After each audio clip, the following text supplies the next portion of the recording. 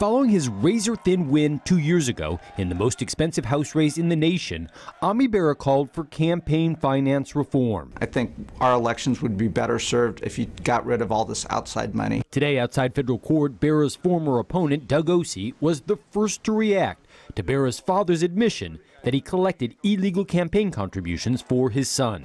I think there are significant questions that remain unanswered. Like what? What's the biggest question in your mind? How, how far from the tree does the seed fall? However, people we spoke to today in Elk Grove said they're willing to consider Bera's explanation that he knew nothing about what his father was up to. I'm going to be on the side of, of Ami Bera, that he didn't, he probably didn't know anything about it. No, I wouldn't hold it against him. I really wouldn't. Bera's current opponent, Sacramento County Sheriff Scott Jones, released a statement saying simply, We need to allow the investigation in the justice system to discover all the facts and reach their conclusions.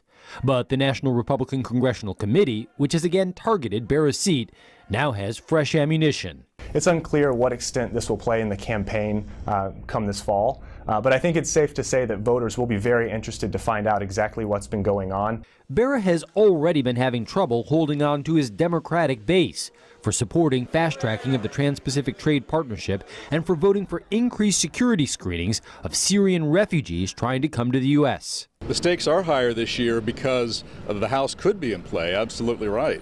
And so uh, what happens with Bera's seat really does have potential national implications.